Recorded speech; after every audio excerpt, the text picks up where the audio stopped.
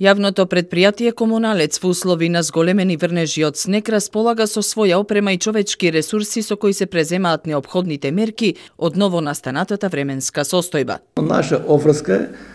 расчистување на тротоарите и патеките низ градот, расчистување на снегот од мостовите, расчистување на патеки низ парковите, гробиш, гробиштата.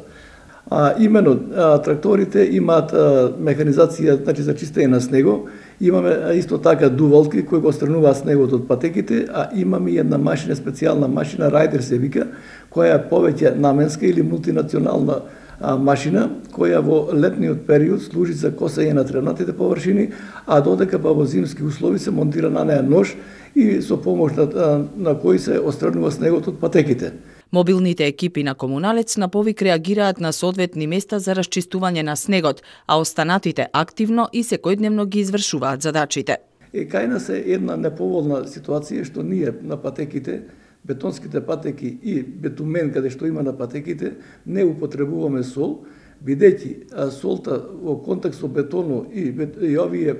а, бекатонските а, плочки ствара контакт, односно го нагризува. Затоа ние во некои екстремни случаи каде што имаме повеќе мраз на патеките, фрламе комбинација песок и чакал. Не е тоа ефикасно како што кога би било и солта, но во дадена ситуација можеме само тоа да го направиме. Подигнувањето на комуналниот отпад во зимски услови е проблем, иако возилата на комуналец имаат зимски гуми и соодветна опрема. Но благодарение на добрата организираност и мобилизираност и појачувањето на екипите, а, ние и првиот снег и сега овој снег, комуналниот отпад е скоро секаде во, бит, во Битола и Битолско подигнат. Така да а, мислам дека има една или две улици, Козјек мислам улицата